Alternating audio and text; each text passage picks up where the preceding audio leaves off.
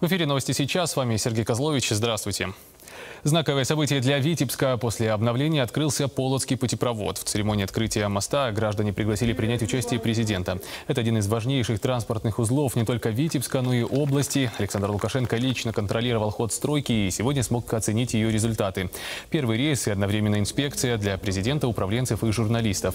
Объект жизненно важный не только для Витебска. Это артерия международного значения ведет в Полоцк и далее в Россию и Латвию самые тяжелые времена скитаний по мукам в Витебске закончены.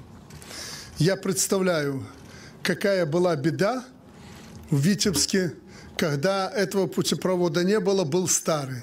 Но какая была проблема и беда, когда этот старый путепровод закрыли. Согласитесь, что без этого чудо сооружения Витебск существовать не мог и дальше было бы хуже и хуже. Это памятник на века нашему славянскому городу. Встреча же с активом региона стала возможностью оценить сделанное в области и пройтись по проблемным вопросам. Речь шла не только о модернизации автодорожной сети, точки роста промышленного сектора, фронт работ в АПК, упор на экспорт и туристический потенциал. Это только часть тем, которые звучали сегодня. Ключевой задачей в масштабах Витебщины и всей Беларуси является развитие регионов. Замысел простой – поднять районы и сделать так, чтобы люди чувствовали себя комфортно и в центре, и в глубинке. Шла речь о том, что будет продолжена работа по диверсификации экспортных поставок повышению доходов населения. При этом, отметил президент, исполнительская и технологическая дисциплина, стабильность в государстве – это основа любого развития. Евросоюз не допустит второго глобального карантина и остановки экономики. Об этом заявила еврокомиссар по здравоохранению Стелла Кириакидес. План ЕС – предупредить, а не сдерживать болезнь. Еще раз, страны-члены должны остыть, мы должны объединить наши усилия.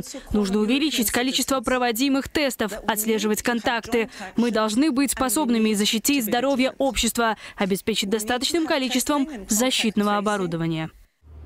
Тем временем Италия вновь вводит ограничения. В частности, люди будут обязаны носить маски в общественном транспорте, магазинах, госучреждениях, больницах и других местах, где невозможно сохранять метровую дистанцию.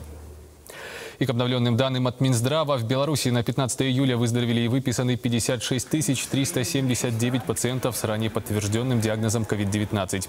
65 443 человека зарегистрированы с положительным тестом на коронавирус. В лабораториях страны проведены почти миллион 152 тысячи тестов. За весь период распространения инфекции на территории страны умерли 480 пациентов с рядом хронических заболеваний с выявленной коронавирусной инфекцией. На этом у меня все. Больше информации в 19 часов. Всего доброго.